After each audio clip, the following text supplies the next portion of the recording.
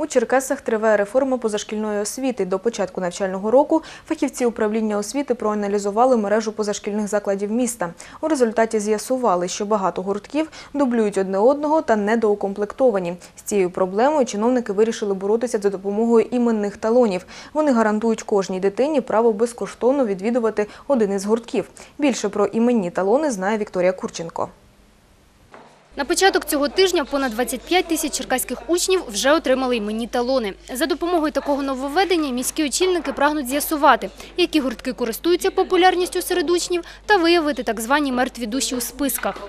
в якому е, напрямку є потреба в відвідуванні, будемо створені нові гуртки, новий профіль. Якщо, скажімо, сьогодні не йде, ну образно скажімо, там на якийсь е, вид мистецтва нема попиту, то нема чого і тримати викладача, який не забезпечений годинами. Своє рішення обмежити кількість безкоштовних гуртків до одного у міськвиконкомі пояснюють просто. Діти і так надзвичайно перевантажені у школі.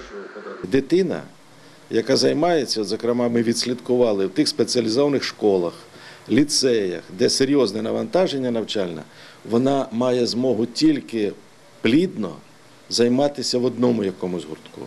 За словами Миколи Шкарабури, нині більшість позашкільних закладів працює в нормальному режимі. Утім, вже зафіксовані випадки скорочення кількості дітей в окремих секціях чи гуртках порівняно з минулим роком.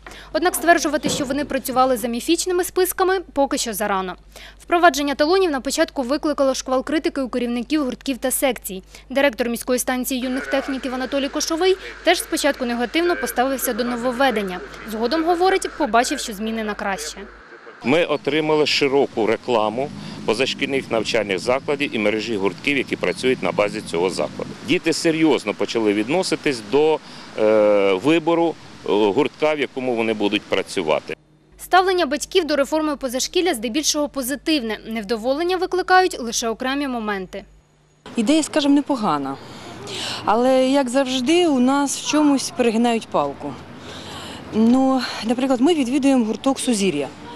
Е, є вокальні, е, вокальна студія і хореографія.